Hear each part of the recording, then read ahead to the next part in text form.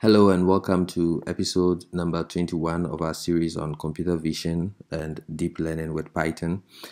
This um, episode is also an appetizer, it's just to whet your appetite for what to expect once we begin to treat topics on deep learning.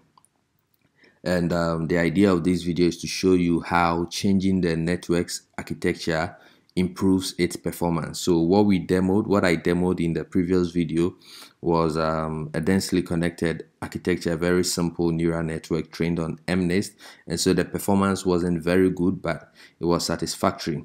Today I've made an improvement and I'm using convolutional neural networks, okay? ConvNet, and um, this is a neural network architecture specifically designed for um, computer vision for for identifying or classifying images. So it does perform much better than it was doing yesterday.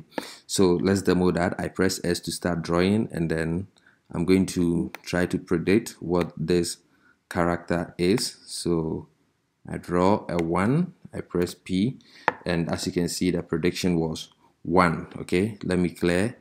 I press c and then let's start drawing um, a 2 so I draw 2 and the network tells me it is a 2 let me clear. Let's try 3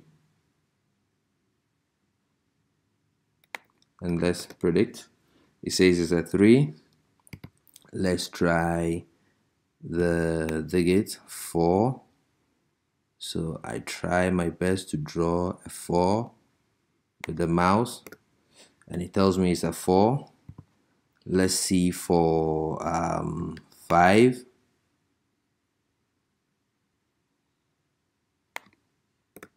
okay so as you can see the performance we are receiving today is much better than what you saw in the previous video. And um, it is just to demonstrate to you how choosing the perfect or the the correct network architecture for the right job is going to improve the performance of your neural network okay? And um, once again this is not meant for you to know how to build neural networks but then i'm just making you aware of um, what you are to expect in subsequent videos to come.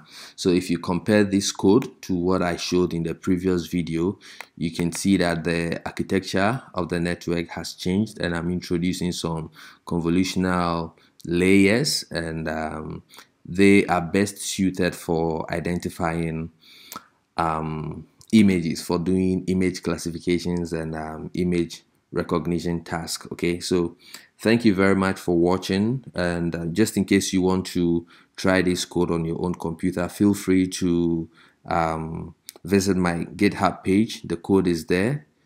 It is called deep hyphen ocr clone it and then set it up on your local machine to see um, how this actually works. And I promise you in subsequent videos I'm going to teach you how to build this stuff from scratch and get very good performances that will be reliable for whatever task you want to accomplish with them. So thanks for watching and see you in the next video.